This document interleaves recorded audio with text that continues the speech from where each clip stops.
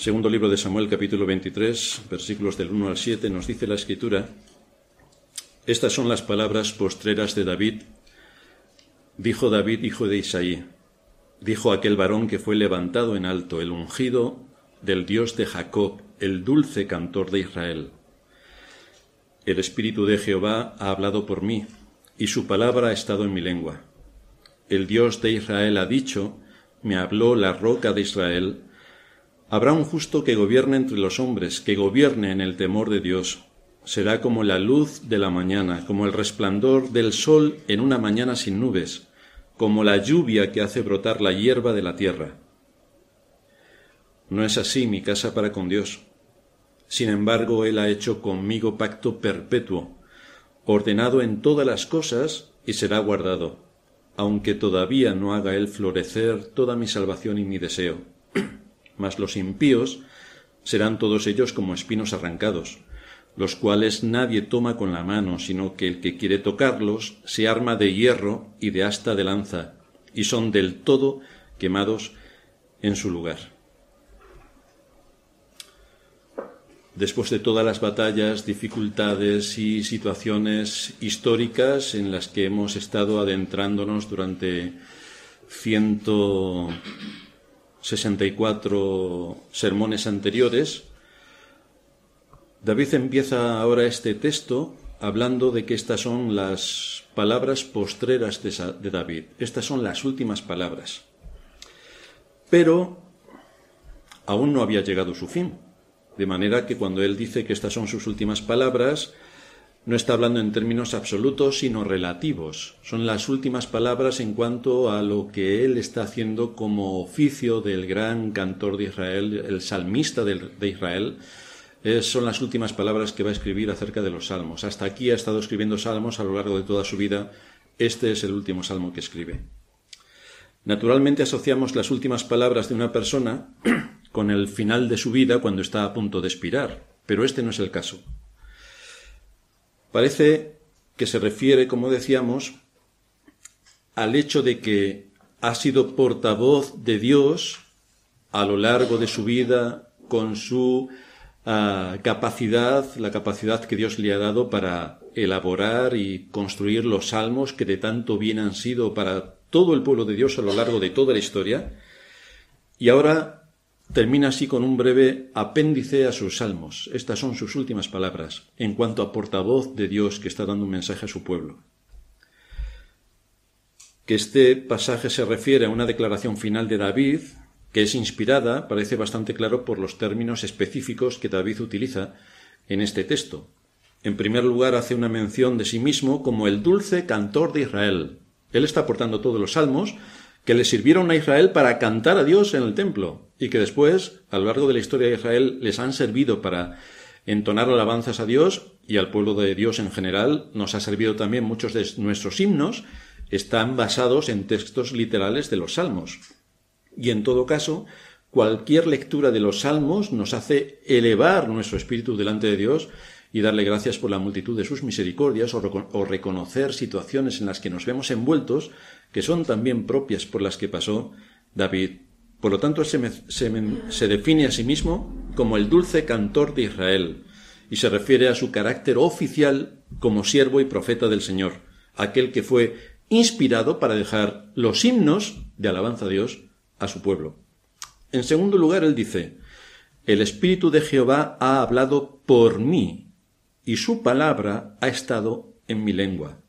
Y este lenguaje solo puede ser usado por alguien designado para entregar formalmente la palabra de Dios a su pueblo. El Espíritu de Jehová ha hablado por mí. Por lo tanto, Él es el portavoz que ha transmitido la voluntad de Dios a su pueblo. En tercer lugar, lo que él dice en los versículos 3 y 4, miran más allá de sí mismo, porque están anunciando a Cristo aquel que iba a gobernar, aquel que iba a ser la luz, aquel que iba a tener un imperio sempiterno. En el transcurso de toda esta serie hemos señalado una y otra vez que muchas de las experiencias por las que está pasando David son también nuestras propias experiencias.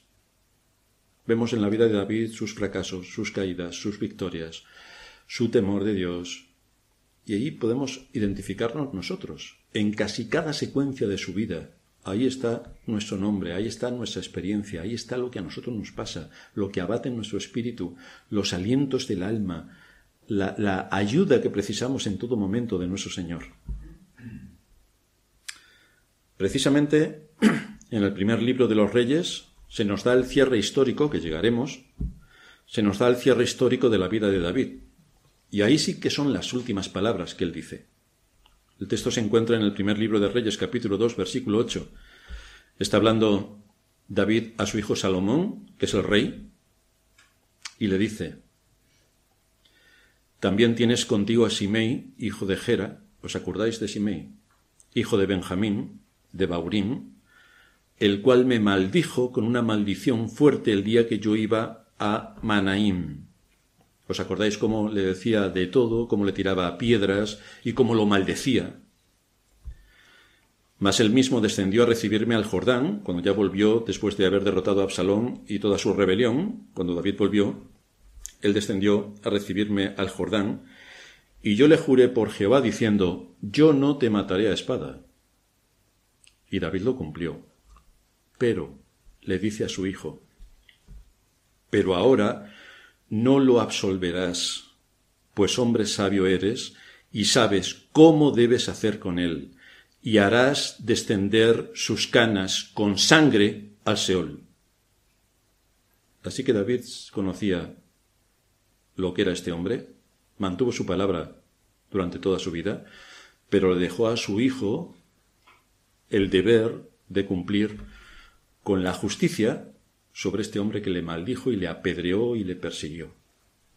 Así que vemos que sus últimas palabras son sangre.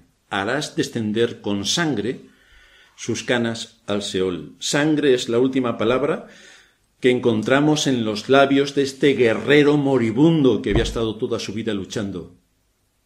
Un hombre de guerra desde su juventud, lo describe así la escritura, un hombre de guerra.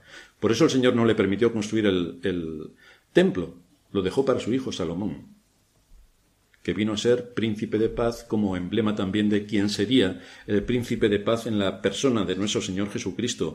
Pero aquí encontramos sangre. Y desde luego los enemigos filisteos y los amalecitas podían testificar el azote que David supuso para ellos durante toda su vida. Un guerrero implacable, mantuvo su posición, mantuvo el honor de su país, mantuvo el honor del Dios a quien servían. Un hombre con honor, un hombre con valor, un hombre que se sacrificó toda su vida, un hombre que estuvo al pie de todas las batallas. Un hombre. Pero en nuestro texto se nos permite ver el otro lado de la imagen donde podemos ver la sensibilidad de David, como un hombre de guerra, tan preparado para el combate, tan rudo en las batallas, pudo escribir tantos salmos con una sensibilidad exquisita. Si vemos dos caras opuestas en el carácter de David, un hombre de guerra, pero un hombre muy sensible a la palabra de Dios, muy sensible. Así que se nos permite ver el otro lado de la imagen donde podemos ver a un hombre que está haciendo recuento de todas las bendiciones de Dios. Aquí no aparece el hombre de guerra, aparece el hombre según el corazón de Dios, el que había encontrado gracia delante de sus ojos, el que había sido amado con un amor eterno y por lo tanto él es también el representante de el pueblo de Dios. Es nuestro representante también, porque si en él vemos sus caídas y todo lo que él sufrió y todos los avatares de, del enemigo que estuvieron contra él y allí nos identificamos nosotros, también nos podemos identificar completamente como aquel a quien el Señor amó con un amor eterno. Aquí escuchamos a un creyente que nos acerca a las puertas del cielo. A medida que el creyente se aproxima al final de su viaje por el desierto de la vida, y David se está aproximando al final de su viaje, tenemos que hacer como David. David se dedica al final de su viaje a recordar la bondad de Dios. Se detiene en la gracia asombrosa que le levantó de donde se encontraba y le hizo sentarse en los lugares celestiales con Cristo. Le llamó de entre las ovejas y lo exaltó, no solamente como rey de Israel, sino como el Hijo del Dios eterno, el Rey de Reyes. Y encontró consuelo también en el hecho de que Dios había hecho con él un pacto eterno, como Dios desde antes de la fundación del mundo ya le había llamado a la salvación, y cómo él se encontraba en ese pacto eterno que firmaron las tres personas de la Trinidad. En todo esto se puede resumir estos versículos que acabamos de leer, pero vamos a entrar al detalle versículo a versículo. Estas son las palabras postreras de David. Dice Matthew Henry, cuando nos acercamos a la muerte, debemos esforzarnos tanto para honrar a Dios como para edificar a los que nos rodean. Que aquellos que han tenido una larga experiencia de la bondad de Dios, cuando llegan al final de su vida, dejen un registro de esa experiencia y den su testimonio de la verdad. Y esto es lo que empieza a hacer David. Este es, este es mi testimonio de lo que Dios ha hecho conmigo a lo largo de mi vida. Estoy ya aproximándome a la muerte. Aún quedan bastantes batallas, pero David ya es un anciano. Y entonces empieza a recordar todo lo que Dios le ha dado a lo largo del tiempo. Estas son las palabras postreras de David Dijo David, hijo de Isaí, dijo aquel varón que fue levantado en alto, el ungido del Dios de Jacob, el dulce cantor de Israel. La palabra hebrea que se utiliza aquí para dijo, que se usa dos veces en este versículo, dijo David, dijo aquel varón, nos indica, está confirmando, está remarcando algo que tiene que ver con una autoridad. O sea que esto es exactamente así lo que le está diciendo. Es veracidad lo que está mostrando. David se describe a sí mismo en primer lugar por la humildad de su, de su origen. ¿Quién es David? ¿Quién eres tú? El hijo de Isaí. Ese soy yo. El hijo de un padre pecador. Por lo tanto, pecador. Habla del lugar de donde vino, que era muy humilde y casi desconocido. Porque fijaos que cuando va a luchar contra Goliat, nos encontramos esta escena en el primer libro de Samuel capítulo 17 versículo 55. Cuando Saúl vio a David que salía a encontrarse con el filisteo, claro, ahí estaban los hombres valientes de Israel, estaba todo el ejército de Israel, que ninguno de ellos se quería presentar, ninguno de ellos quería presentar batalla al filisteo. Y llegó David allí para llevarle comida a sus hermanos, y él sí que se presentó delante del filisteo para luchar con él. Cuando Saúl vio a David que salía al encuentro con el filisteo, le dijo a Abner, general del ejército, Abner, ¿de quién es hijo este joven? Y Abner respondió, Vive tu alma, oh rey, que no lo sé. No sé de quién es este. No sé cómo entre medias de tantos soldados que tenemos para entrar en combate, llega alguien que ni siquiera pertenece al ejército. No sé quién es este. Y David tuvo que responder por él mismo a la pregunta de Saúl. Le dijo Saúl, muchacho, ¿de quién eres hijo? Y David respondió, yo soy hijo de tu siervo Isaí de Belén. Belén. Una aldea casi desconocida. Pero este es el caso del creyente. El creyente, ¿de dónde viene el creyente? ¿De quién somos hijos antes de haber sido creyentes? ¿De quién somos hijos? ¿Venimos de un origen humilde? Y por lo tanto, esta es la única actitud con la que debemos presentarnos delante de Dios. ¿De dónde nos ha sacado Dios? ¿De dónde nos ha sacado? Debemos venir con un corazón que reconoce quién es Dios. Debemos venir con un corazón que reconoce su majestad, su autoridad, su señorío, su poder, su gloria. Con ese corazón debemos venir. Un corazón humilde. Un corazón que se acerca a Dios considerando quién es aquel ante quien los ángeles cubren sus rostros y quién es uno mismo. Que hemos sido rescatados de la condenación eterna a la que nos llevaban nuestros hechos, con justicia. Pero sabemos que por la gracia de Dios, aquel varón fue levantado. No por nosotros mismos. Es un acto que Dios hizo. Es Dios quien levantó a David. Es Dios quien levanta a su pueblo. Es Dios quien lo hace.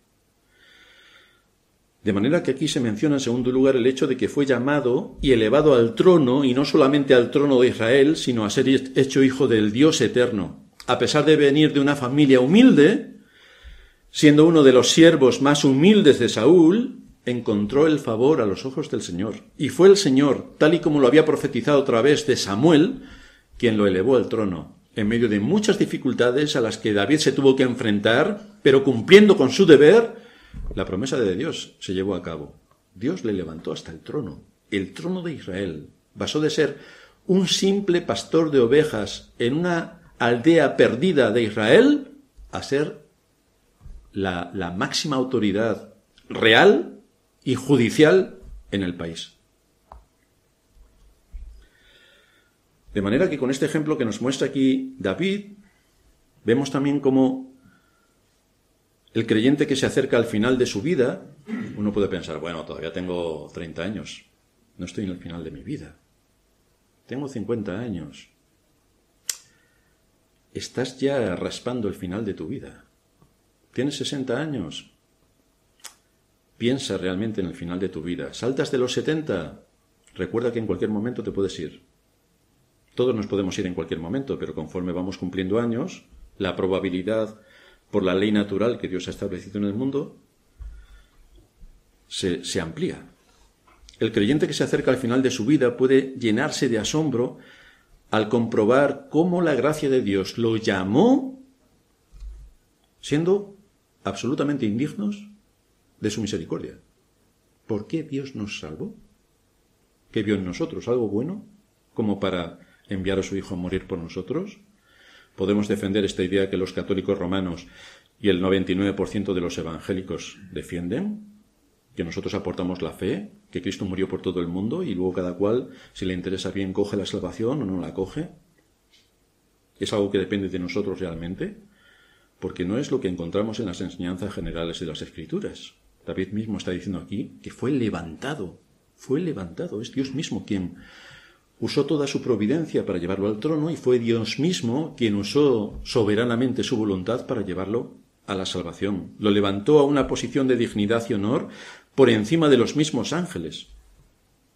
Porque no, olvidéis que nosotros, hijos de Dios, estamos en una posición superior a los ángeles. Los ángeles no son herederos del reino de los cielos, no son hijos de Dios, son criaturas de Dios, que les sirven constantemente. Pero los llamados a la salvación están por encima en el sentido de que son herederos del reino de los cielos, son príncipes y reyes en el reino de los cielos. En tercer lugar, David se describió a sí mismo como el ungido de Dios. Y así también se nos define a nosotros como creyentes, porque para los creyentes está escrito, dice Pablo en 2 de Corintios 1:21, y el que nos confirma con vosotros en, en Cristo, y él que nos confirma con vosotros en Cristo, y el que nos ungió es Dios, ungido, apartado, preparado, sobre quien se derrama algo especial, el Espíritu de Dios, que es el que nos da vida. Finalmente se define David como el dulce cantor de Israel. Esto también es representativo, aunque él compuso los salmos, son también para nuestro uso y disfrute. Dice Santiago 5:13, ¿Está alguno entre vosotros afligido? Haga oración. ¿Está alguno alegre? Cante alabanzas. Aquí tenemos un repertorio de salmos, de himnos que alaban a Dios, que reconocen su misericordia, su gracia, su bondad, su consuelo. ¿A cuántos millones de creyentes a lo largo de toda la historia estos salmos de David han sido su aliento, ¿Cuántos no conocen el Salmo 1, el Salmo 23, el Salmo 19? Multitud de salmos que traen paz al corazón. Esta es una de las muchas declaraciones que se encuentran en las Sagradas Escrituras y que sirven para definir su naturaleza y alcance. ¿Qué haríamos si no tuviéramos la revelación de Dios que nos ha dejado por escrito en lo que conocemos como las Sagradas Escrituras, como la Biblia? ¿Qué haríamos si no tuviéramos la Biblia? ¿Qué haríamos si Dios no hubiera usado hombres a quienes le dio de su espíritu especialmente para traernos su palabra revelada? Porque las escrituras son la palabra de Dios, lo que exhala de su boca. Son inerrantes y son imperecederas. Sin embargo, el instrumento que Dios ha usado a lo largo de muchos siglos para transmitir el mensaje fue el de hombres escogidos, para comunicar su palabra. Eran simples instrumentos en la mano del Espíritu Santo para comunicar su, voluntad y dejarla por escrito, para que no se nos olvide, por escrito, por escrito. Los santos hombres de Dios, dice Pedro, hablaron siendo inspirados por el Espíritu Santo. Y aquí tenemos a David, un santo hombre de Dios que dejó multitud de textos bíblicos inspirado por el Espíritu Santo. Estos hombres eran los portavoces del Todopoderoso. Sus declaraciones estaban tan controladas por Dios que lo que dijeron y escribieron fue una expresión perfecta de la mente y de la voluntad de Dios. Esto es lo que nos ha dejado para nosotros, así que bien haremos en prestar toda la atención a lo que Dios ha dejado por escrito en su palabra. No es simplemente que las mentes de aquellos que escribieron los textos bíblicos eran más inteligentes que el resto, o que tenían un temperamento más emocional y, por eso pudieron expresar de esta manera la palabra de Dios, sino que sus mentes estaban divinamente iluminadas para transmitir el mensaje. Mensaje que el mismo Señor cuando estuvo en este mundo reconoció. Él citó a casi todos los textos bíblicos. Nada menos que esto afirma David cuando dice que la palabra de Dios estaba en su lengua, él estaba hablando la palabra de Dios, no hablaba un mensaje propio, no hablaba de sus sentimientos, sino que era un instrumento que Dios usó para transmitirnos su palabra. Es la inspiración de las Sagradas Escrituras, como también lo afirma Pablo. Dice Pablo en 1 Corintios 2.13, la cual, lo cual también hablamos, no con palabras enseñadas por sabiduría humana, sino con las que enseña el Espíritu, acomodando lo espiritual a lo espiritual. Y así tenemos a los apóstoles que lo que hacen es explicarnos el Antiguo Testamento, explicarnos. No caigamos, ya lo hemos dicho en otras ocasiones, en la herejía de Marción que divide la escritura en el Antiguo Testamento, que ya no nos vale, y el Nuevo Testamento, que es lo que nos vale porque es todo amor. No, la escritura es la escritura, es una unidad. Lo que hacen los apóstoles es explicarnos el Antiguo Testamento, pero los apóstoles no aportan nada nuevo, simplemente nos enseñan lo que en el Antiguo Testamento estaba cerrado y lo abren lo abren porque ya la Iglesia es universal y por lo tanto el mensaje ya es universal. Pero ninguna de las promesas que Dios le dio al pueblo de Israel son distintas para la Iglesia, porque allí también estaba la Iglesia, allí también estaba la Iglesia. Es Dios quien tuvo misericordia de nosotros y usó a estos hombres específicos para que su palabra quedara por escrito a la posteridad. Y en ese sentido Dios dejó de una manera completa y cerrada toda su revelación. Y si Dios lo dejó cerrado, no, no puede haber más revelaciones. No puede haber más profetas que añadan algo a la palabra de Dios que ya está cerrada. No puede haber más profetas que aporten. Yo es que he recibido una revelación de Dios que me ha dicho que tú no puede haber apóstoles que tengan autoridad para enseñar a la Iglesia. Otros asuntos que no están recogidos en las Escrituras. Los apóstoles se murieron. Y ahí se acabó la autoridad a la Iglesia para enseñar. Los pastores ahora mismo tienen la autoridad delegada, es decir, cogemos las escrituras y las abrimos, pero no aportamos nada nuevo. Ninguno de los mensajes que llevamos aquí, aunque llevemos miles de años predicando, es nada nuevo respecto a lo que nuestros antepasados en la fe predicaron, lo que los apóstoles predicaron y lo que los profetas dijeron. No aportamos nada nuevo. Simplemente seguimos recordando al pueblo de Dios cuáles son sus enseñanzas, cuáles son sus mandamientos, cómo la palabra de Dios es viva y eficaz y cómo no pasa a lo largo del tiempo. Es actual, está vigente independientemente de la cultura en la que estemos, de la época en la que nos haya tocado vivir, del país en que vivamos, la escritura es permanente, tiene vigor permanente.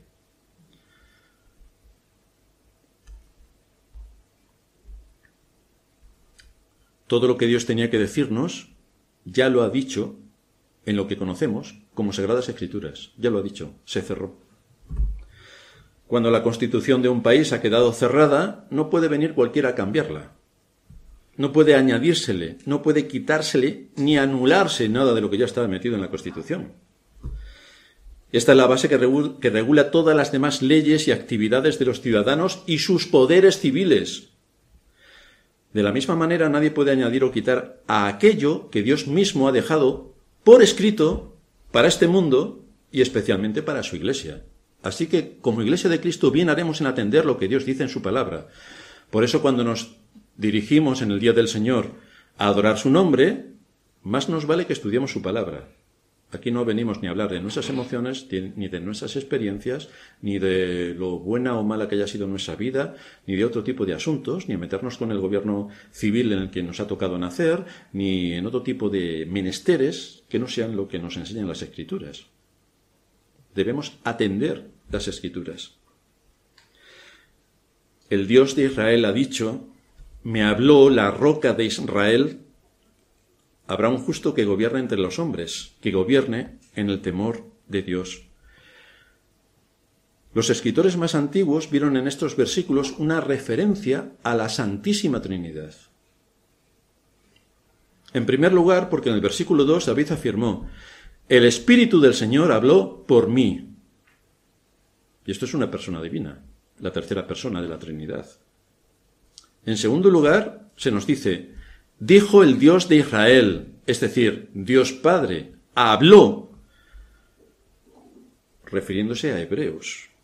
Dios, habiendo hablado muchas veces y de muchas maneras en otro tiempo a los padres por los profetas, en estos posteros tiempos nos ha hablado a través del Hijo, por medio del Hijo, a quien constituyó heredero de todo y por quien asimismo hizo el universo. Dios Padre me habló. Y en tercer lugar, la roca de Israel le habló a David. ¿Quién es la roca? ¿A quién se identifica con la roca en las escrituras? Sino a Cristo. De manera que tenemos al el Espíritu me habló, Dios me dijo, la roca de Israel. David, eh, David nos está hablando de la Trinidad. Directamente. En Isaías 32 se nos dice aquí que para justicia reinará un rey y príncipes presidirán en juicio, y será aquel varón como escondedero contra el viento, y como refugio contra el turbión, como arroyos de aguas en tierra de sequedad, como sombra de gran peñasco en tierra calurosa. Allí está hablando de Cristo. De manera que cuando, cuando estudiamos los salmos de David, continuamente podemos ver referencias a Cristo. Él no sabía en toda su extensión lo que implicaba la llegada del Mesías, ni lo que eso iba a suponer de grandeza para el Evangelio y de revelación de toda la voluntad de Dios para llevar a cabo la salvación. Pero él estaba lanzando... Bueno, uno se lee el Salmo 103 y no puedes pensar que a David le faltaba tanta información como el privilegio que tenemos nosotros hoy de conocer toda la revelación de Dios y todo lo que en Cristo nos ha sido dado. Pero David habla como si lo supiera. Por eso muchos de sus salmos están impregnados de la persona de Cristo. Habla de Cristo continuamente. Habla de Cristo.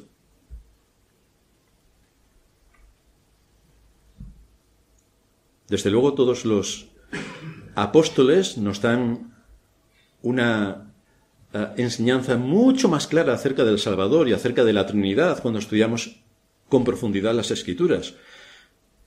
Ellos nos lo explican, pero todo se encuentra ya en el Antiguo Testamento. Dios ya se está revelando en el Antiguo Testamento. Dios se está anunciando.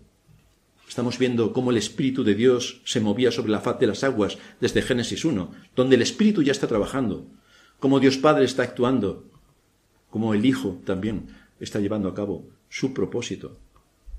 Es interesante observar también los tiempos verbales que David está usando aquí. Fijaos, el Espíritu de Jehová ha hablado por mí y su palabra ha estado en mi lengua. El Espíritu ha hablado. Este ha hablado es pretérito perfecto compuesto. Y en el versículo 2 dice, me habló. El Espíritu ha hablado por mí, me habló. Y este habló es pretérito perfecto simple. Pero ambos tiempos verbales se relacionan indicando que David está transmitiendo un mensaje por inspiración divina el cual se evidencia en todos sus salmos, está ratificando que Él es un instrumento usado por Dios para transmitir un mensaje. Por lo tanto, está hablando con autoridad. Está hablando con autoridad. Particularmente se debe prestar atención a dos aspectos. Uno en su aplicación práctica sobre el gobierno humano y en segundo lugar en cuanto a su trascendencia ya que nos está hablando de la persona de Cristo los gobernadores deben gobernar con justicia. Eso es lo que nos está diciendo. Pero habrá uno que gobernará, es exactamente así. El que gobierna sobre los hombres debe ser justo. Debe gobernar, dice David, bajo el temor de Dios. Así que, como en la mayoría de las profecías o de muchos salmos hay una aplicación directa eh, para ahora y hay una aplicación que tiene que ver con la persona de Cristo, más adelante en la historia. Así que David se refiere por una parte a los poderes civiles, pero también como principio se aplica a los eh, gobiernos eclesiásticos, a los pastores. De manera que la imparcialidad y la rectitud deben caracterizar a los magistrados y a los ministros por igual, la imparcialidad y la rectitud, mientras que el oficio de cada uno debe ser ejercido bajo el temor de Dios, que es a quien tendremos que dar cuenta, bajo el temor de Dios. Pero este justo que gobierna entre los hombres, en su carácter final, no es otro sino nuestro Señor Jesucristo, porque es de él de quien David está hablando. Dice el libro de Isaías también el capítulo, el capítulo 42, versículo 6, Yo Jehová te he llamado en justicia. El que gobierne tiene que gobernar en justicia. Yo Jehová te he llamado en justicia y te sostendré por la mano, te guardaré y te pondré por pacto al pueblo, por luz de las naciones, para que abras los ojos de los ciegos, para que saques de la cárcel a los presos y de casas de prisión a los que moran en tinieblas, el que gobierne con justicia, el que va a llevar a cabo la obra de la redención, el que va a aplicar su justicia hasta los términos de la tierra. Y David lo describe con más precisión en el siguiente versículo. Será como luz de la mañana. ¿Cómo se identifica Cristo? Como el sol de justicia, como el lucero de la mañana, como el resplandor del sol en una mañana sin nubes, como la lluvia que hace brotar la hierba de la tierra. ¿Quién es el que trae todo el vigor a su iglesia? ¿Quién es el que sustenta su iglesia por medio de su espíritu? ¿Quién es el que alienta, consuela, alimenta y contribuye al bienestar de su iglesia? Esta es la función que Cristo desarrolla y es así como él mismo se describe. Juan 8:12. Otra vez Jesús le salvó diciendo, Yo soy la luz del mundo. Es lo que David acaba de decir, será como la luz de la mañana, en pleno apogeo, como el resplandor del sol en una mañana sin nubes, que cae el sol a plomo, nada queda bajo oscuridad. Yo soy la luz del mundo, dijo el Señor. El que me sigue no andará en tinieblas, sino que tendrá la luz de la vida.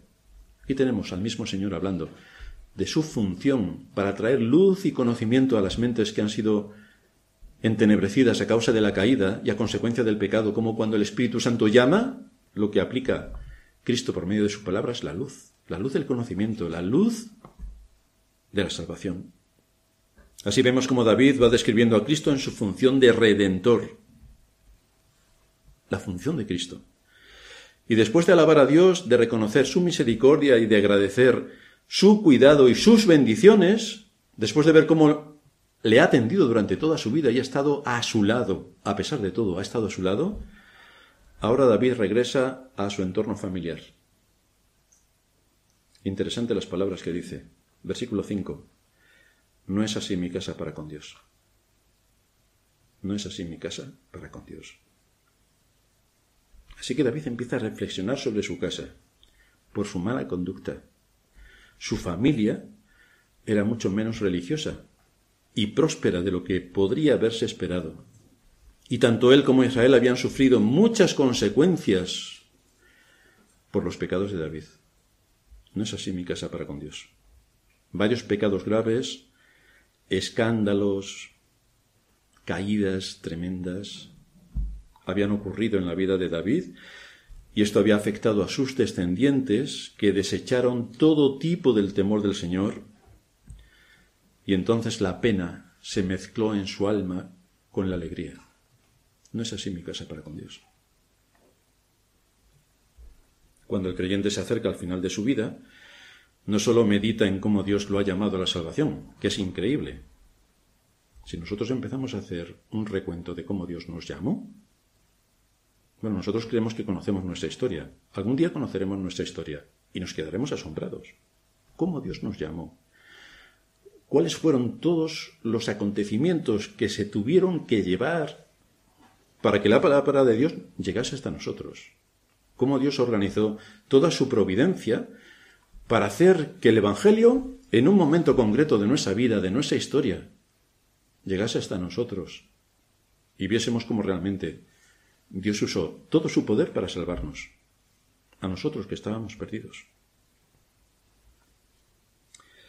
Cuando el creyente se acerca al final de su vida, no solamente medita en cómo Dios lo ha llamado a la salvación, no solamente medita en las grandes bendiciones que Dios nos ha dado y que podemos hacer recuento de ellas, no solamente medita en cómo su mano lo ha guardado, cómo nos ha cuidado, cómo nos ha sostenido, sino que también debemos revisar nuestras locuras, nuestros fracasos.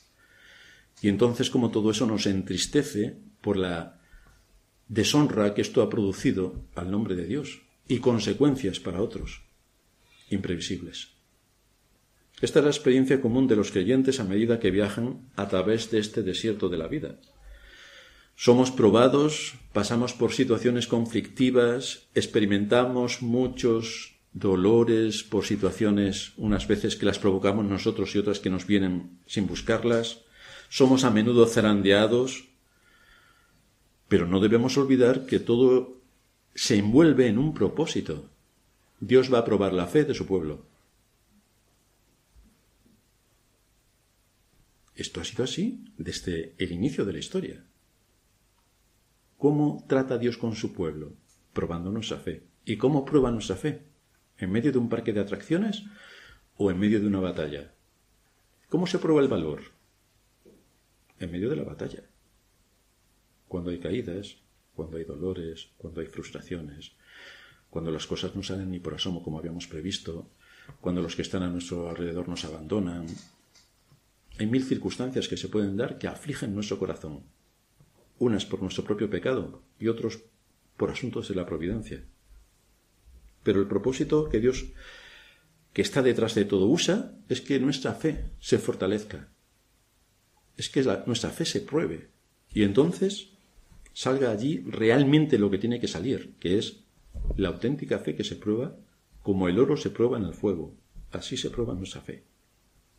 Y al final nos encontramos que cuando hemos prestado más atención al interés personal o a la comodidad o a una mala gestión de los recursos o cómo dirigir de una manera insensata bajo el temor de Dios a los nuestros, generalmente tenemos que llorar por la condición en la que se encuentran algunos de los que han estado más cerca de nosotros y son más queridos. ¿Qué encontramos en David? Nunca le dijo a sus hijos que aquello estaba mal. ¿Qué hicieron sus hijos? Ahí tenemos a Absalón y veremos otra traición más. Pero si tú no corriges, o cuando corriges lo tienes que hacer sabiamente, para no llevar a tus hijos a la ira, si no eres sabio en cuanto a la educación de tus hijos para implantar en ellos el temor de Dios, pues entonces puedes tener muchos problemas. Y entonces, el día de mañana lloraremos y diremos como David, no es así mi casa para con Dios. Gracias, en gran parte, a nosotros. Es doloroso ver a muchos de los que están a nuestro alrededor como son inmunes a la palabra. Inmunes. Hoy muchos estarán escuchando el mensaje del Evangelio. Ni atenderán, no saben de qué estamos hablando.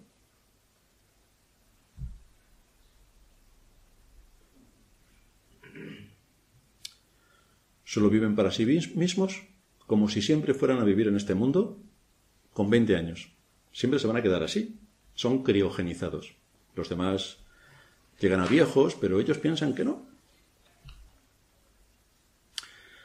Como no les preocupa en absoluto su alma, no quieren entender que van camino a la perdición, que es exactamente ahí donde van. Y por eso el Señor en su misericordia hoy también les permite escuchar su palabra. Hoy también.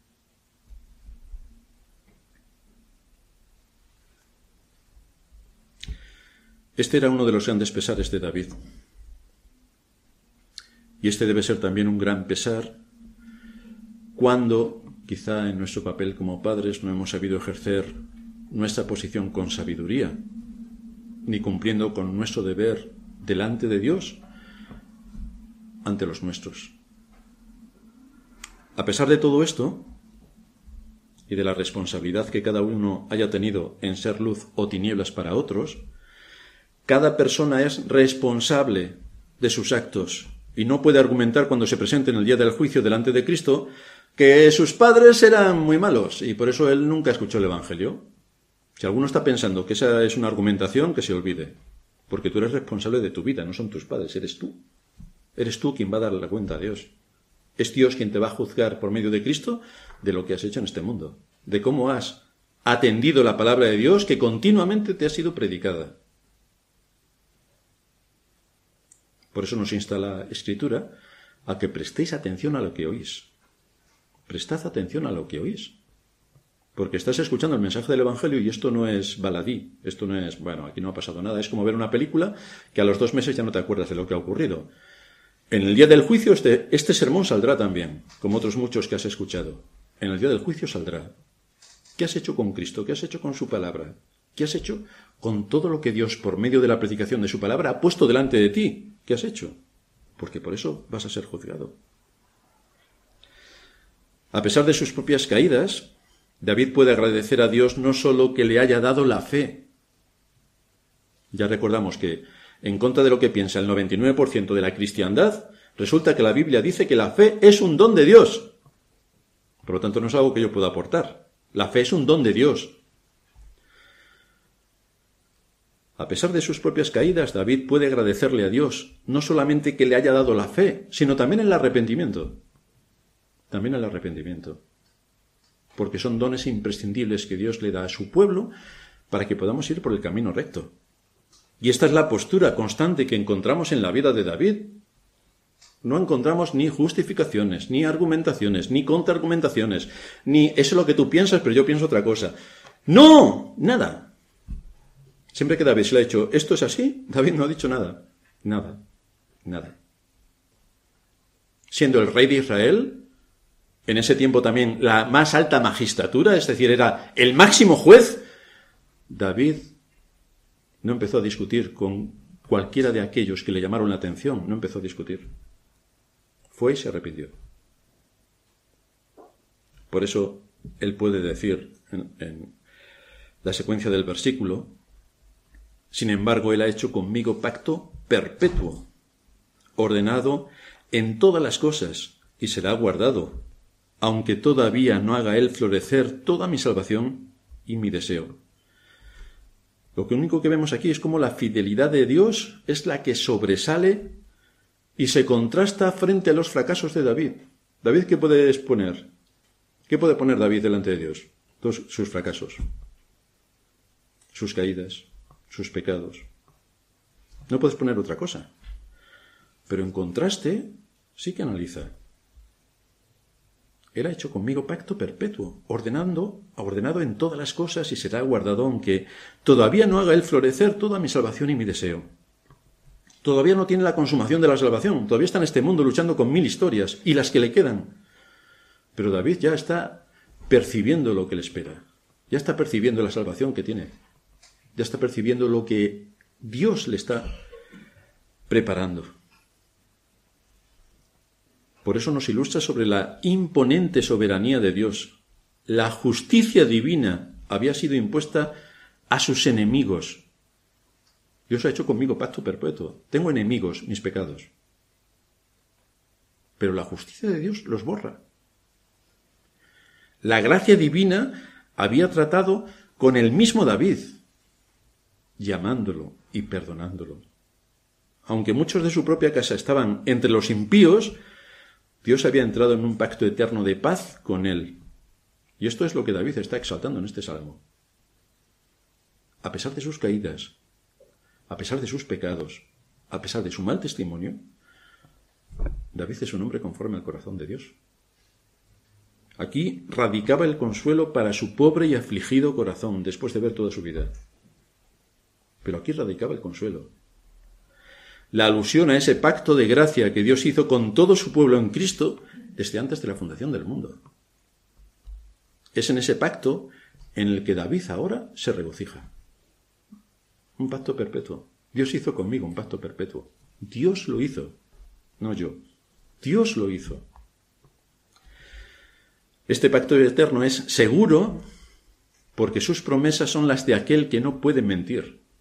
Porque en todos los fracasos y caídas de los creyentes se hace una provisión completa de gracia.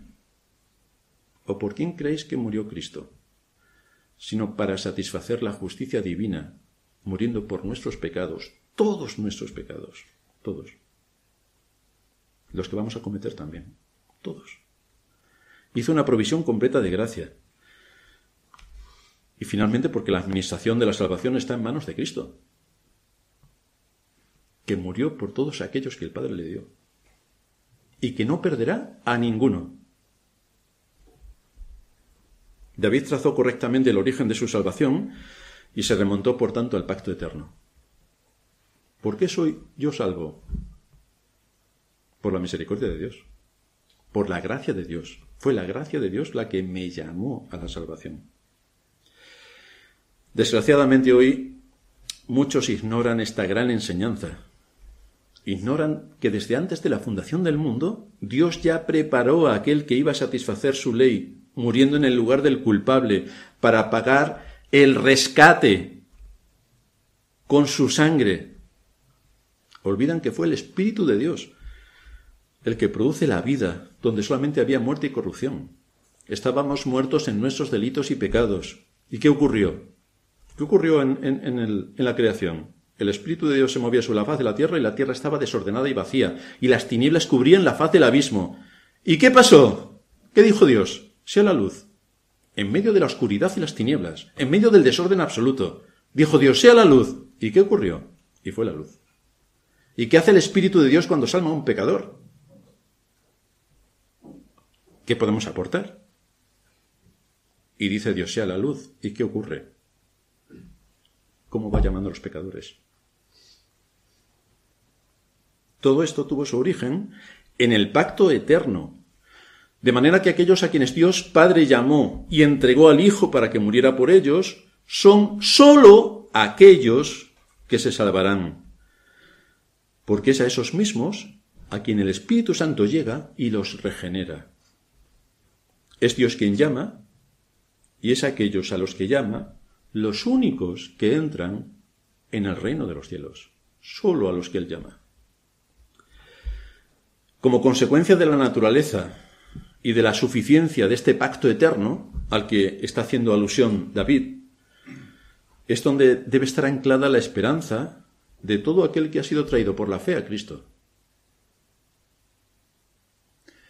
Porque imaginaos, vamos a analizar la vida de David y vamos a pensar si alguien así puede ser creyente. Y diremos, nos entran bastante dudas de que David pudiera ser creyente. Pero a David cada vez que se le exhortó se arrepintió. Entonces tenemos la seguridad de que este hombre, a pesar de sus caídas, porque quien no se cae, a pesar de sus caídas, el temor de Dios estaba en su corazón. Y cada vez que fue exhortado, corrigió rápidamente su camino. No hubo que decirle dos veces las mismas cosas. Como consecuencia de la naturaleza y suficiencia del pacto eterno, es ahí donde debe estar anclada la esperanza de todo aquel que ha creído en Cristo por la fe, en el pacto eterno, en lo que Cristo hizo por mí, en lo que las tres personas de la Trinidad firmaron antes de la, de la, fundación del mundo. Es ahí donde debo poner mi vista en todo cuanto Dios ha hecho por mí para la salvación. Y David lo que hace es que descansa en este pacto, descansa en este pacto. Y esto es así con referencia a su casa, porque a pesar de todo, descansa en Dios. Muchos de mi casa no, no van a ser salvos. Pero yo qué puedo hacer? He cometido mis pecados, mis faltas, mis caídas, pero todo está en las manos de Dios. Fijaos que Dios es el que hace que las familias crezcan o no crezcan. Dice el Salmo 107, Él convierte los ríos en desiertos y los manantiales de las aguas en sequedales. Es Dios quien lo hace. La tierra fructifica la tierra fructífera la convierte en estéril por la maldad de los que la habitan. Dios ejecuta sus juicios. Vuelve el desierto en estanques de aguas. Lo que parecía increíble, pues Dios lo lleva a cabo. Y la tierra seca la convierte en manantiales. Allí establece a los hambrientos y fundan ciudad en donde vivir. Siembran campos y plantan viñas y rinden abundante fruto. Los bendice y se multiplican en gran manera y no disminuye su ganado. Levanta de la miseria al pobre y hace multiplicar las familias como rebaños de ovejas. Todo está en sus manos. Todo está en sus manos. Lo que a nosotros nos pudiera parecer que son accidentes o casualidades, resulta que es la providencia de Dios gobernando el mundo con justicia. Porque al final todo se encaja dentro de su justicia y se mueve a través de su providencia. A veces viendo el mundo en general en la situación en la que se encuentra y la Iglesia en particular, solo encontramos decadencia. Es que no nos podemos creer que el mundo esté tan mal como está. Bueno, nosotros pensamos que está mal. Súmale mil millones de veces y verás más o menos cómo está el mundo, porque hay muchas cosas que desconocemos y que existen y que están por dentro corrompiéndolo todo. Hay una mente ingeniosa e inteligente, que es Satanás, que está trastocando absolutamente todo, hasta niveles que para nosotros son insospechados. Pero la iglesia no está mejor. Nosotros pensamos que vamos a una iglesia porque cantan y leen un versículo de la Biblia, ya, bueno, aquí es que han hablado la palabra de Dios. Sí, sí, sí, sí. ¿Mm? Vamos, que Satanás eso lo sabe hacer también. Ya recordaréis cuando tentó al Señor que no fue a utilizar un libro de Cicerón, no, cogió las escrituras y le demostró al Señor por dónde tenía que ir. Así que ojo en el uso de las escrituras, porque no todo el que dice Señor, Señor entrará en el reino de los cielos, y no solo por leer un versículo ya estamos en una iglesia y esto es adorar a Dios. No, no, no, no. Dios tiene un, establecido un método por el cual se le adora, se le rinde culto, se le, alaba y cómo trae su palabra para el beneficio de su pueblo. Así que viendo el mundo en general y la situación de la iglesia en particular, vemos como también la casa de David representa la iglesia física en este mundo. Uno podría suponer que como David era creyente, toda su casa sería creyente. Y resulta que casi toda su casa era impía. Uno podría suponer que porque en la entrada pone iglesia evangélica o iglesia cristiana, todos son creyentes, cuando resulta que la mayoría son impíos.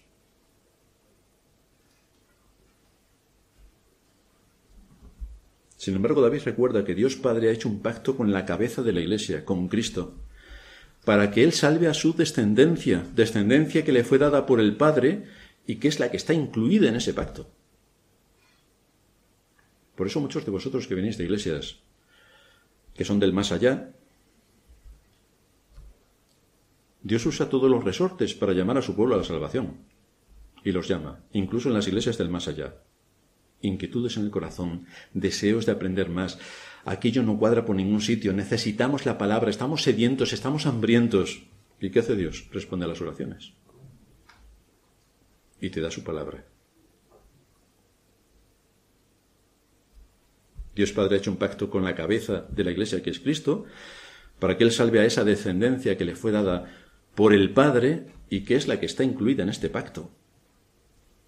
Por eso nos dice Isaías también en el capítulo 53, versículo 10, cuando haya puesto su vida en expiación por el pecado, verá linaje, vivirá por largos días, y la voluntad de Jehová será en su mano prosperada. Por aquellos que Cristo murió, no se perderá ni uno. Aquellos que el Padre le dio a Cristo, no se perderá ninguno. La voluntad de Jehová será en su mano prosperada. Y en este pacto también participa el Espíritu Santo, que es quien llevó a cabo la regeneración, dando la vida espiritual, imprescindible. Por otra parte, David hace una referencia muy solemne al terrible destino que le espera a aquellos que desechan a Dios y su gracia. Estás escuchando y para ti esto no te dice nada. Es que no tienes ni el más mínimo interés. Es que no, no, no, no te dice nada. Mas los impíos serán todos ellos como espinos arrancados, los cuales nadie toma con la mano, sino que el que quiere tocarlos se arma de hierro y de asta de lanza, y son del todo quemados en su lugar. Este es el destino final de aquellos que no quieren escuchar a Dios, ni quieren escuchar su palabra, ni se apropian del sacrificio de Cristo por medio de la fe, desechan toda amonestación, desechan toda enseñanza de las Escrituras, desechan a Dios, desechan, desechan, desechan, desechan. Eso supone llamar a Dios mentiroso. Y eso es un pecado gravísimo que no se te va a perdonar. Aquellos que son esclavos de sus propios deseos. Es que a mí me gusta. Que están despreocupados de la gloria de Dios porque tienen muchas otras preocupaciones en este mundo, claro, con todas las obligaciones que tienen que hacer. Aquellos que menosprecian su palabra y que no vienen con la atención, con la mente dispuesta a atender. Aquellos que desoyen sus mandatos y que son persistentes en el mal aquellos que viven para sí mismos, a estos la justicia caerá sobre ellos. Se les describe como espinos arrancados, lo cual es una figura del rechazo completo de Dios sobre ellos, y finalmente serán completamente quemados en el fuego. Una figura ilustrativa que nos habla acerca del infierno. No quieres escuchar a Dios, no quieres atender su palabra, no quieres prestar atención al mensaje del Evangelio que hoy también se te anuncia. Que sepas que este es tu destino. Este es tu destino. algunas cuestiones para concluir. Aunque posiblemente no pienses en la muerte, recuerda que esto es una realidad que tarde o temprano te tocará experimentarla. Porque salvo algunos casos como Enoch o Elías, y no conocemos más, los demás se han muerto. Así que posiblemente también te mueras. Así que, ¿Haces memoria de tu vida y de todo lo que Dios en, tu, en su misericordia te da? ¿Haces recuento de todo lo que Dios te da? ¿O es que tú te lo mereces? Claro, por eso lo tienes, porque te lo mereces. ¿Haces memoria de tu vida y de todo lo que Dios en su misericordia te da? ¿Eres consciente de que los únicos que entrarán a formar parte del reino de Cristo son aquellos que aquí y ahora son parte del reino de Cristo? No esperamos a ser parte del reino de Cristo cuando nos muramos. Es que si no lo somos ahora, no lo seremos luego. ¿Crees que la palabra de Dios es la única verdad infalible por ser quien es su autor? Donde Él se revela para mostrarnos el camino de salvación y entonces, conociendo lo que Dios ha revelado en su palabra, con toda la amplitud de todos los temas que toca, ¿actúas en consecuencia bajo el temor de Dios? o mejor dicho, con temor y temblor? Y en último lugar, ¿has sido consecuente con el deber que ha sido impuesto sobre ti para que tu vida y tu casa o tus responsabilidades estén bajo el temor de Dios? ¿Eres consecuente con todo eso? Aquí entran los niños, los jóvenes, los adultos, los ancianos. ¿Eres consecuente con todo lo que Dios te ha dado y las responsabilidades que ha puesto sobre ti para actuar bajo el temor de Dios?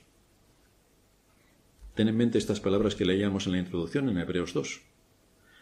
¿Cómo escaparemos nosotros si descuidamos una salvación tan grande? ¿Cómo escaparemos? Que nos ha sido anunciada primeramente por el Señor. ¿Cómo escaparemos? Tenemos muchos alicientes para escuchar a Dios para atender sus mandatos, para obedecer su palabra, para acercarnos a Él con un corazón humilde y ver su mano generosa bendiciéndonos en medio de la aflicción y aun a pesar de nuestras caídas, por el pacto eterno que la Trinidad firmó a nuestro favor. Así que cuando nos acercamos a Dios con un corazón contrito y humillado, a ese miraré, nos dice, a ese miraré. Y es así como se acerca David. Y es así por lo que el Señor le define como un hombre conforme al corazón de Dios. Yo quiero ser uno también.